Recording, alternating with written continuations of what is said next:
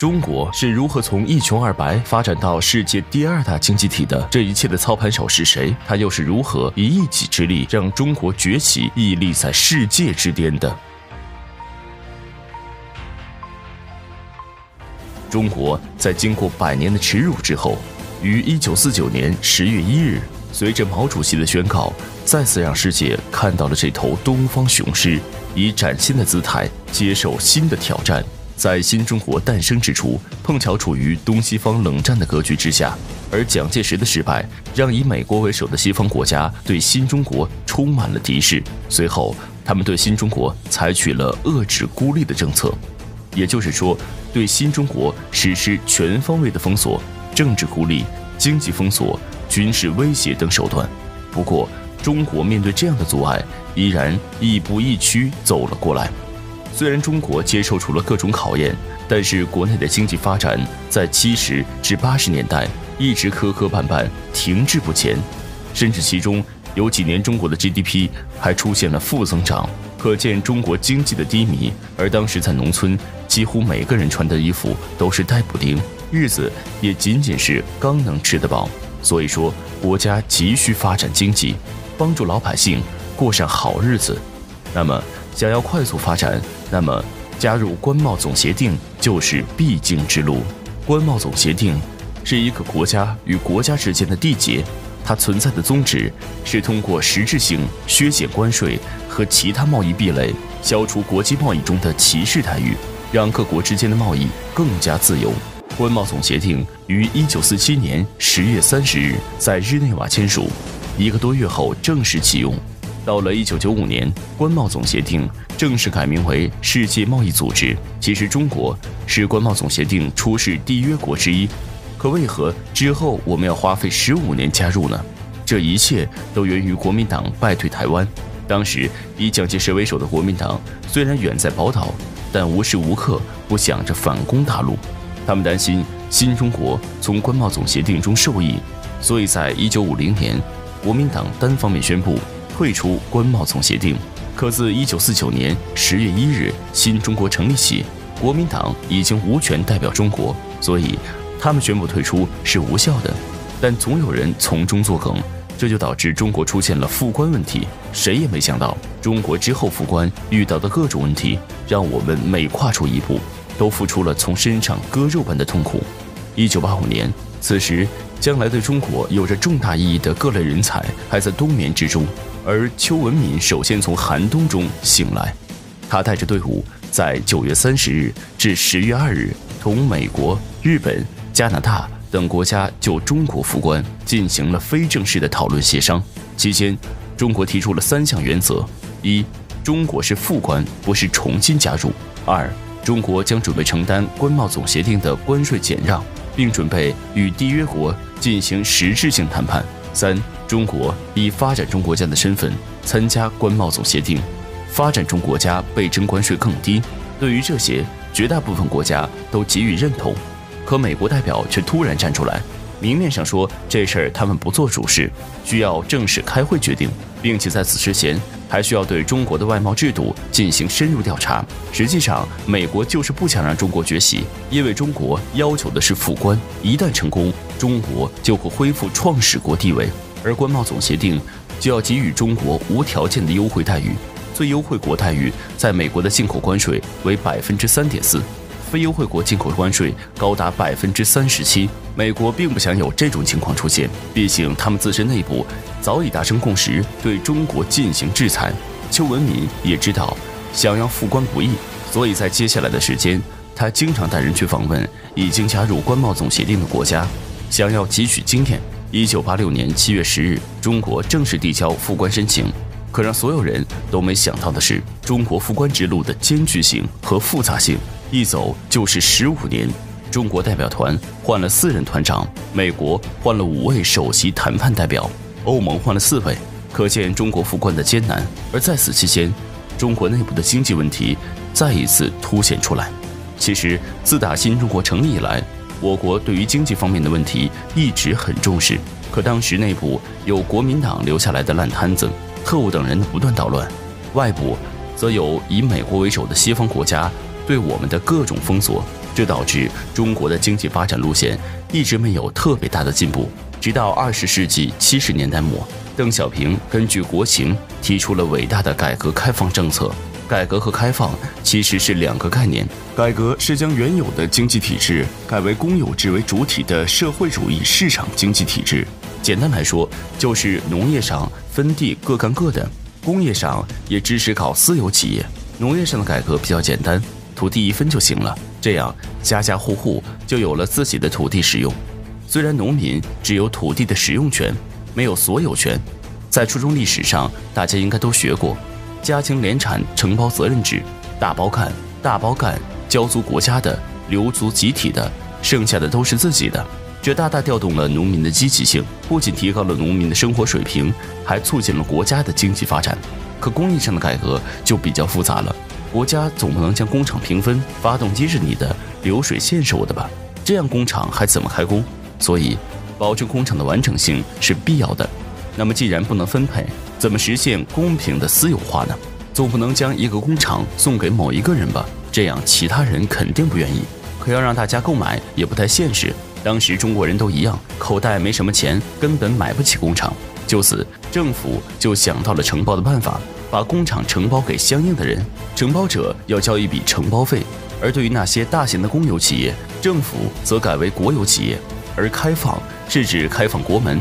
把国外的一些公司引进中国，这样能让我们快速学习到国外的先进技术和管理方法，推动我国企业的发展和进步，实现弯道超车。邓小平的这个决定，正是中国从一穷二白到如今屹立。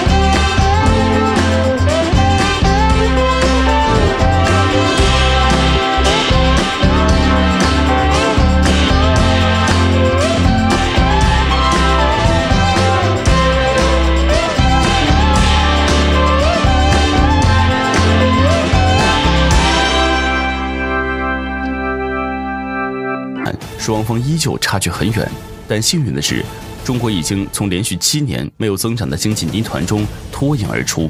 而改革开放政策的实施，极大加快了中国的复关行动。之前，关贸总协定主要审查中国的经济体制，特别是对外开放这一政策。然而，他们实地调查时发现，中国的经营权还算宽松，对外贸易也是自主经营，赚钱或亏损都是自主承担，出口的定价也正常，没有人干扰。随着改革开放的深入，复关也是一步步逐渐开展，两者可以说是相辅相成。可以说，中国有了改革开放，才有了加入世贸组织的条件。自打一九九二年之后，复关的谈判都挺顺利的。谈判的具体分为两部分，一是双边谈判，二是多边谈判。简单来说，双边谈判是中国与世贸组织成员之间进行的市场准入谈判，这涉及到了关税高低、进口限制；而多边谈判则是中国协定书和工作报告书的起草过程，重点解决遵守世贸组织的规则。只要这两个谈判全部结束，就能真正的加入世贸组织。这个过程是困难且煎熬的。当时，关贸总协定的成员一共是一百三十多个。而要和我们进行双边谈判的国家一共是三十七个，按照规定必须和这三十七个国家都达成协议。可这么多国家的国情各不相同，有些很简单，比如冰岛，双方只需要谈判鱼类的关税就可以了。可美国和一些欧盟国家就不一样了，他们害怕向中国崛起，所以说只要是能阻止中国发展的这些国家无所不用其极。就拿美国开说，自打中国复关以来。美国就以世贸组织首领的姿态向我们施压，诸多西方国家也在一旁看着热闹，坐享美国谈判后给他们带来的利益成果。从某种意义上来说，美国和中国的谈判代表了世贸大部分国家和中国谈。这个过程折磨了中国许久。在中美谈判中，美国代表对于中国出口的六千多个税号都感兴趣，所以他们要求每一个都详细的来谈。这完全是强盗逻辑。美国是经济强国不假，当时的经济比中国领先也不假，可他们不可能六千多种商品全都是自己的强项啊！美国就是仗着自己势力大，阻止任何可能超过他们的国家发展。就拿美日来说。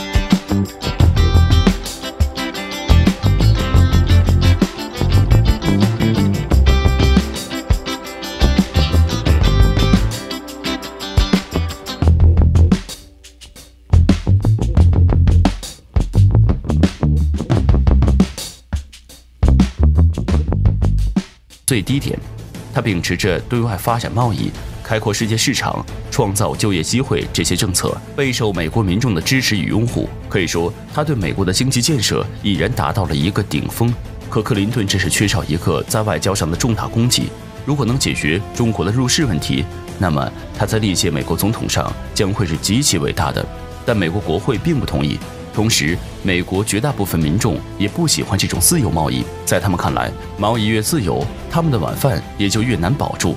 此时，美国国内的工商界分为两派：一是支持中国入市的，例如波音、摩托罗拉、通用等这类企业；中国的入市符合他们的商业利益，而极力反对中国入世为首的便是纺织业。他们认为中国的纺织品将会导致美国诸多纺织工厂倒闭，无数人失业。所以克林顿就美国国会展开了激烈的讨论。然而，就在中美谈判的另一边，还有一群先辈们也在为中国崛起尽着自己最大的努力。一九九八年七月，华夏证券公司董事长邵纯突然接到了秘书的通知，有个香港老板想约你吃饭。他说有一个很好的项目可以合作。邵纯一点也不关心这个香港老板是谁，他听到“好项目”这三个字，立刻以最快的时间与那个香港老板见了面。而这个人就是大名鼎鼎的徐增平。两人初次见面。徐增平西装革履，加上曾经当过兵的气质，当然一看就是个正直的人。两人没多久，徐增平就说出了他来找邵纯的真实目的。他说，乌克兰现在有一艘废旧航母“瓦良格号”，他已经花了两千万美元买了下来，如今正在回国途中。现在手里的钱都没了，还缺两千万人民币。徐增平越说越激动，他说这是唯一一个机会，如今中国急需航母。如果能将瓦良格号成功运回中国，捐给大陆，这无疑会极大提高中国在世界的影响力和地位。邵纯听到这里，心不自觉地颤动了一下。不得不说，徐增平有当大忽悠的潜质。在他不断的游说下，邵纯最终从自己的口袋中拿钱，帮助徐增平买航母。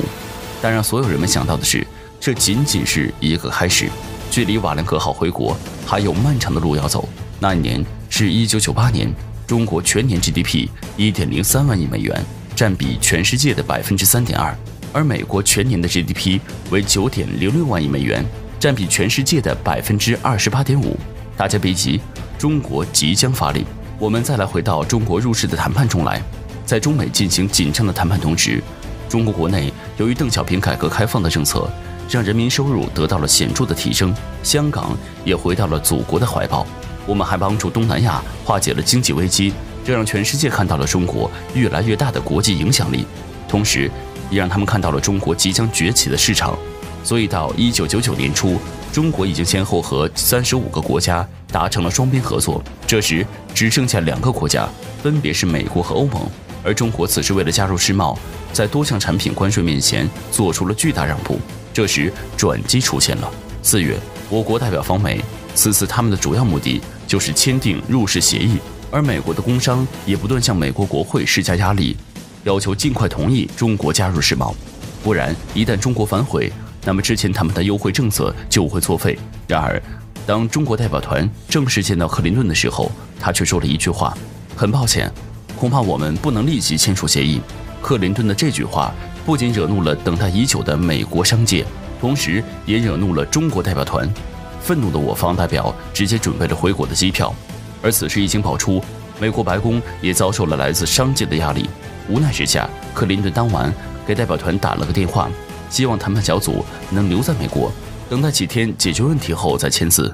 愤怒的代表团领导回答：“你们美国人出尔反尔，一点信用都不讲。你们想签就签，不想签就不签，哪有这样的道理？要真是想谈，那就到北京来谈吧。”随后。我国代表团挂断了电话，这下克林顿在美国的声望受损严重，他受到了美国和全球各国的谴责。然而，让人没想到的是，第二天美国代表团就飞到中国，与中方代表开始谈判。可最终，美方的吃相实在太难看，要价太高，最终谈判无果。到了一九九九年五月八日，这天发生了震惊世界的一件事，同时也让中美谈判中断了几个月。而这件事也是帮助中国崛起的一大原因。北京时间一九九九年五月八日早上五点，在中国驻南斯拉夫大使馆上空，美国的一架 B 二轰炸机连续发射了五枚精确制导导弹，而这五枚导弹分别以不同的方向朝着我国驻南斯拉夫大使馆发射而去。此次袭击事件造成我国三名记者当场被炸身亡，其中一人是新华社记者邵。